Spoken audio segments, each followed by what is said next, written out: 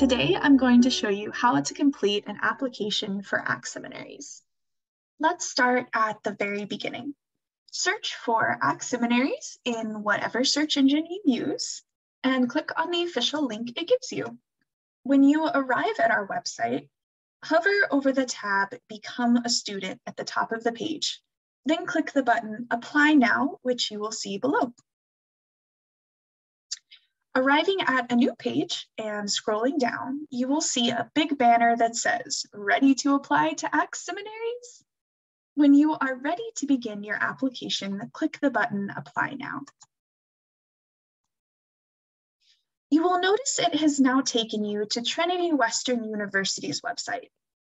ACTS Seminaries is a partnership of four seminaries that together form a graduate theological school of Trinity Western University. As a student of ACTS, you are also a student of Trinity.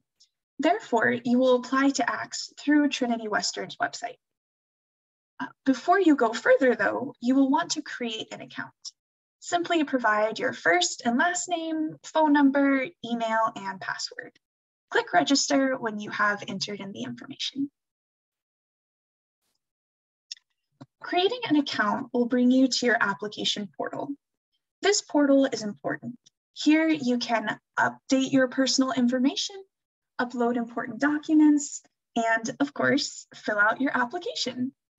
You will also be able to check the progress of your application as it goes through the different steps of review. Once you have arrived here, click My Profile in the top right corner. This page is going to ask you some basic personal information as well as your contact information. Just click Save and Continue when you have entered everything. Clicking Save and Continue will bring you to your application. It's going to ask you what level of study you are applying for. This is really important. What you say here will inform what sort of application you receive. Please choose ACTS Seminaries, not graduate as your level of study. Then simply choose your program of interest your seminary and the semester you want to start your studies. If your program has a stream of study, like the MTS degree, for example, be sure to identify that stream in the drop-down menu provided. Click Save and Continue when you are ready to go on to the next section. In the following section, you will record your academic history. Once you start typing the name of the school, a list of schools should appear. Find your school from the list, or if you don't see your school, click School Not Found and record your school's information in the drop-down blanks it provides. Click Add Another School to record another school's information, or click Save and Continue to go on to the next section. Here you can input your references information. This section will tell you what references you need. You will enter your recommender's first name, last name, and email.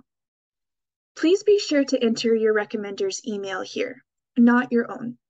Once the contact information has been entered, the application will automatically send reference forms to your references via email. However, if you would rather give it to them in person, simply click do not email this recommender and download the PDF files attached. When you have entered the information, click Save and Continue. Finally, we want to know your story.